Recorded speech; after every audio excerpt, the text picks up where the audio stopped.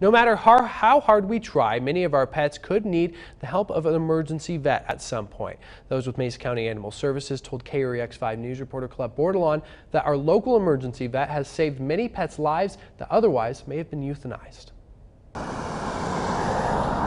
When most people are heading home for the day, Savannah Ross and her coworkers are just getting started.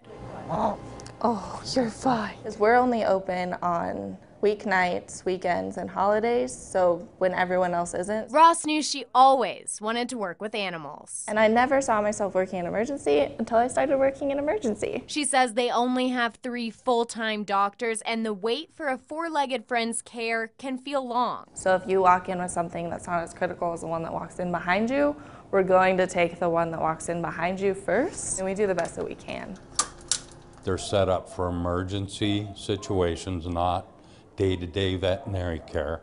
Um, so their costs are increased. I mean, they have staff that work overnight, off hours. Doug Fry from Mesa County Animal Services says the Veterinary Emergency Center has saved countless lives. It's allowed us to take sick or injured animals. It's allowed the public to take sick or injured animals down there that in the past uh, may have ended up being euthanized. Without their help, many of these animals would not survive. They also make sure abandoned or surrendered animals find a home. They genuinely care about the animals. I think that's one of the reasons that we get calls in the middle of the night to help um, offset the cost of care for an animal that's been abandoned or that's been surrendered because the staff doesn't want to see this animal suffer. But they really do give back to the community, and we see that especially in the, the way they give back to our pets through our discounts. It's a hard job. That we sometimes forget the trauma that the staff at a place like the Veterinary Emergency Center go through. So she came in and her face was like three times the size of this. Now she looks like a normal kid.